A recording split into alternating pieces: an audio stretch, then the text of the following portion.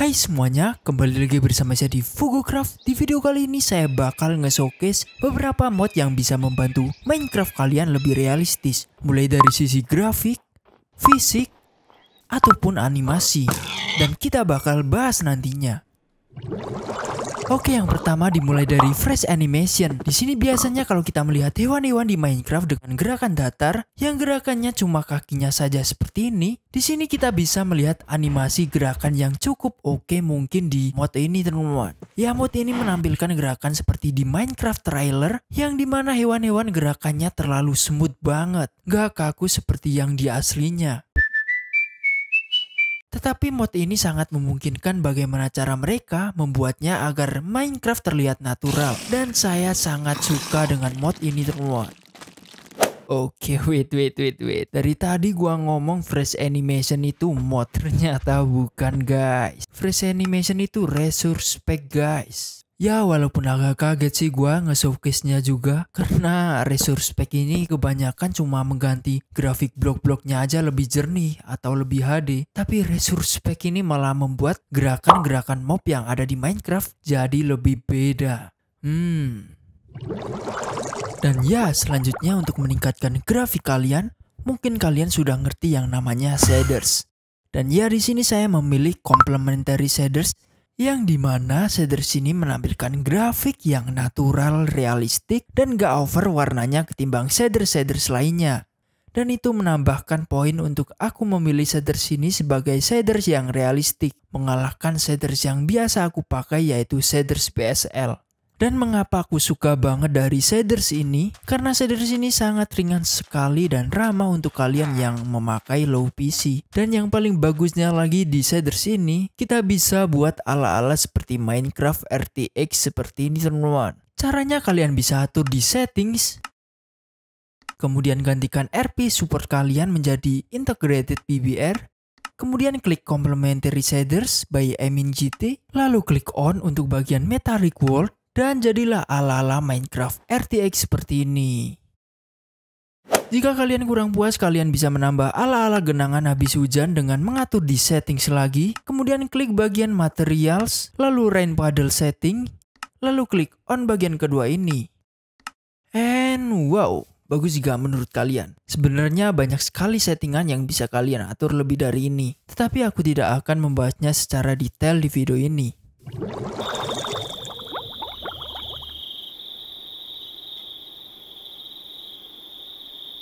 Dan yaitu suara jangkrik saat malam hari. Di mana mod ini berfokus penambahan suara yang memuaskan yaitu mod Dynamite Surrounding Remastered. Dengan mod ini suara-suara di Minecraft kalian tampak hidup. Kalian bisa mendapatkan efek suara bioma yang sangat realistis apalagi kalau kita di dekat air terjun seperti ini.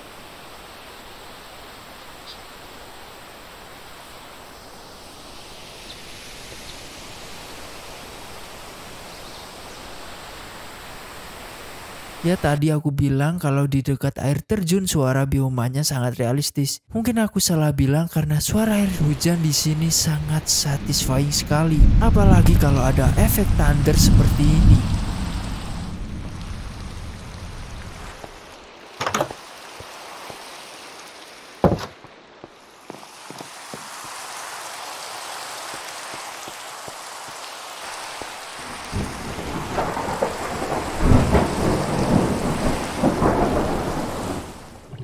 Next, untuk bagian fisik suara aku menambahkan mod presence footstep untuk memberikan suara langkah kaki kita kalau kita sedang berjalan. Ya walaupun terbilang cukup simple, namun mod ini memberikan efek yang realistis menurutku karena tidak hanya suara langkah kaki kita yang bisa didengar, melainkan beberapa detail kecil pun dibuat sedemikian rupa. Contohnya kalau kita menginjakan kaki di berbeda blok, suaranya pun juga berbeda.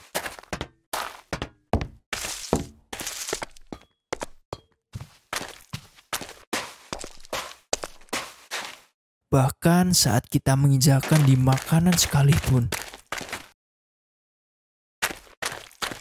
Very very satisfying. Next, mod berikutnya yang bisa bikin Minecraft kalian realistis lagi yaitu mod auditory. Dengan mod ini kita bisa mendengarkan blok yang kita pasang dan blok yang kita hancurkan lebih memuaskan. Ya bukan membandingkan dengan suara yang asli, tetapi suara dari mod ini sangat smooth sekali. Dengan mod seperti itu, tambahkan juga dengan mod extra sound. Dengan mod ini banyak suara yang dihasilkan tambah smooth, seperti saat kita pergi ke inventory atau mencari item, menaruh barang di chest, ngedropin item seperti ini. Apalagi kalau kalian scroll bagian drop item seperti ini. Kemudian beralih dari mod fisik suara, ada mod kamera overhaul. Di mod ini kita bisa melihat beberapa hal cukup mengesankan di pergerakan cara kita memandang. Ya seperti di real life saja. Saat kita loncat-loncat seperti ini, kita bakal diberikan efek goyangan setelah kita meloncat. Dan ya ini cukup bagus menurut saya. Dan ya jangan khawatir kalau kalian tidak suka dengan pergerakannya, kalian bisa menyesuaikannya di settingan. Dan kalau kalian suka yang lebih halus, kalian bisa buat seperti ini. Dan kalau kalian suka pergerakan yang seperti orang mabuk seperti ini, kalian juga bisa menyesuaikannya.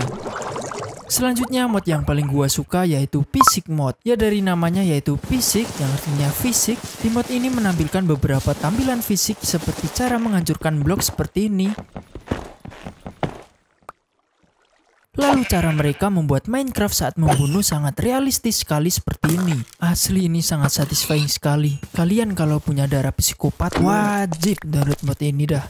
Dan ini hanya untuk versi beta atau versi gratisannya saja. Kalau kalian beli mod yang pro di Patreon si pembuat, kalian bisa dapat lebih banyak lagi tampilan fisik yang lebih sangat-sangat detail seperti cara item yang berbahan kain seperti jubah bisa bergerak seperti ini dan spanduk tentunya.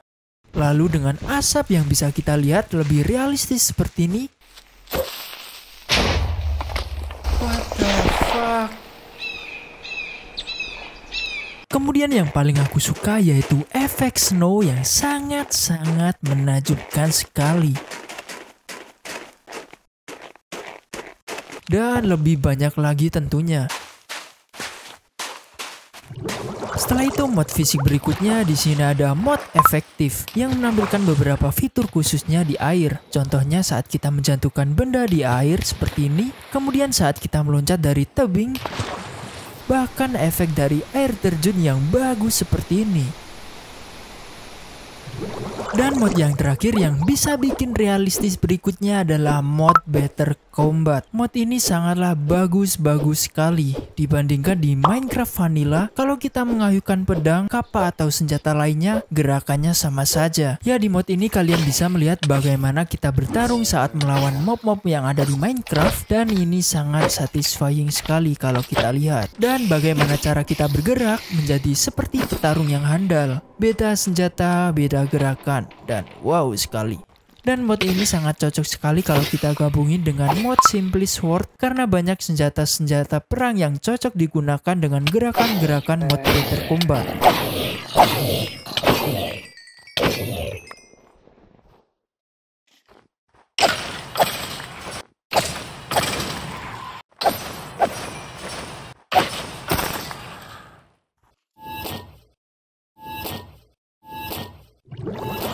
Dan oke itu tadi beberapa fitur dan mod yang bisa buat Minecraft kalian lebih realistis dari sebelumnya. Dan itu hanya sedikit cuplikan beberapa mod yang bisa saya temukan. Dan mungkin lebih banyak lagi mod di luar sana yang lebih bagus yang belum aku temukan. Dan oke jangan lupa like, komen, dan subscribe. Dan sampai jumpa di video selanjutnya.